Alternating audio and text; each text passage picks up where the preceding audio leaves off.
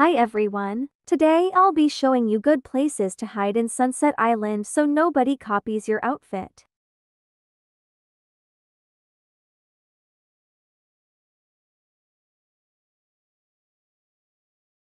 This is spot number 1. You can hide under both of these rocks so nobody can see you.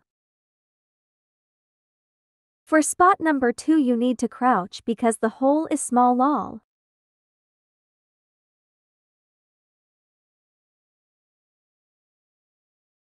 There's also a chart that shows the value of the seashells on this map.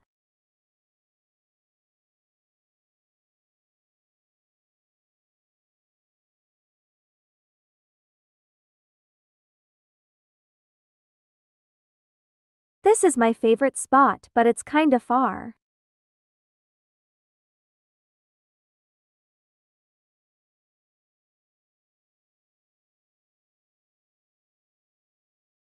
I really like this spot because it has a lot of room.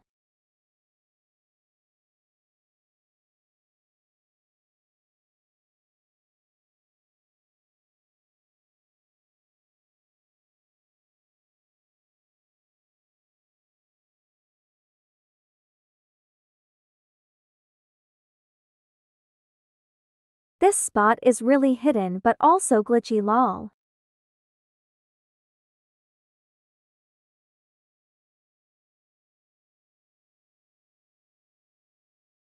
That's all for today though guys. Bye.